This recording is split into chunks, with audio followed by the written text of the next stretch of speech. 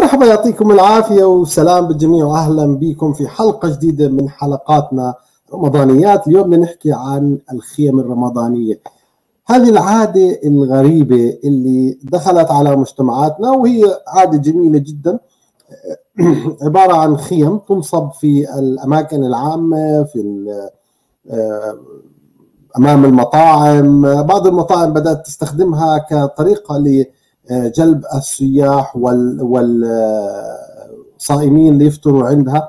هذه الخيم الرمضانية هي عادة ليست بالقديمة جدا. بدأت في مصر في القاهرة وشاعت في الشرق الأوسط وشمال أفريقيا وبدأ استخدامها في عدد كبير من الدول اللي فيها مجتمعات مسلمة. بتوفر عادة هاي العادة آه، أماكن للقاء الأحبة والأصدقاء ومكان للإفطار آه، عند غروب آه، الشمس. طبعا الجميع هنا بتناولوا آه، وجبة الإفطار وبعدها بتبدأ السهرة الرمضانية سواء بشرب الشاي بعض الألعاب الجميلة مع العائلة والأصدقاء ممكن أكل الحلويات. طبعا للأسف بعض هذه الخيم بدأت تعمل سهرات رقص حتى وكنا عارفين هذا الموضوع. ولكن الأساس في موضوع الخيمة الرمضانية هو مكان للتجمع، مكان لجلوس العائلة والاستمتاع بجو آه، راقي وجميل آه، مع الأصدقاء. طبعا الموضوع هذا بدأ كما قلنا من القاهرة من عندما نصبت كانت تنصب هذه الخيام لتقديم التعازي والأحزان وبعدين بدأت نفس الخيام آه، تنصب لموضوع الأفراح وبعدين انتقلت هذا الموضوع إلى موضوع توفير بعض الطعام للناس المحتاجين والمآوي. ومن هذا المنطلق بدأت بعض المؤسسات خاصة اللي فيها ترفيه تقول ليش ما نستخدم هذه الخيام بعمل هذا الشيء؟ طبعا هذا المنظر آه، يعني بذكرنا برمضان في دولنا العربية آه، بتبقى هذه الخيام من ما قبل الإفطار إلى ساعات الصباح الباكرة حتى في ناس إنه بيكملوا السحور فيها وبيروحوا على بيوتهم. طبعا بيكون فيها سهرات رمضانية زي ما حكينا ممكن تجلس العائلة مع بعض الأصدقاء يتكلموا.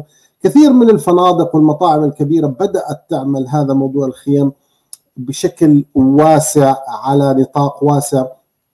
آه، طبعا الخيم الرمضانية صح بتكون مزركشة وجميلة ولكن لها رونق الجلوس في العائلة وال آه، الانبساط هذا اللي آه، بكون مع الأصدقاء يعني هو مكان للم الشمل ولم الأصدقاء ولم العائلة طبعا آه، المهم في الموضوع هو آه، هل في تكلفة ولا لا؟ طبعا معظم الفنادق والمؤسسات اللي عم بتسوي هذا الشيء عم بتسوي لشيء ربحي وطبعا للأسف صارت هذه الخيم منها ثلاث star four star five stars حسب نوع الأكل والسهرة اللي بيقدموها.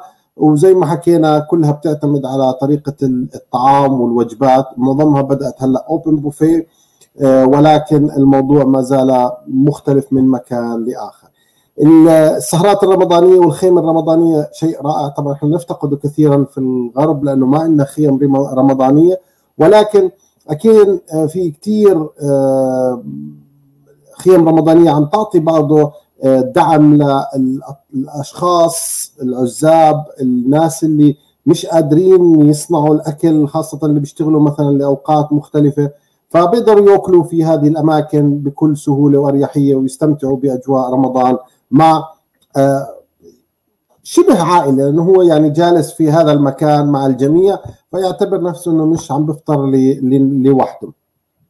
وطبعا آه، الموضوع الخيم آه، للأسف الآن بدأ فيها جزء من التبذير ولكن اجين آه، بنرجع بنحكي إنه معظم الخيم الرمضانية بتعطي هذا الشعور إنك بتفطر مع العائلة. زي ما حكينا في بعض الخيم الرمضانية حنحكي بحلقة كاملة عن هذا الموضوع اللي بتأدي موائد الرحمن آه، بتكون مفتوحة للجميع وبتأسسها مؤسسات خيرية وبتساعد الناس إنها تفطر. هذه حلقتنا لليوم.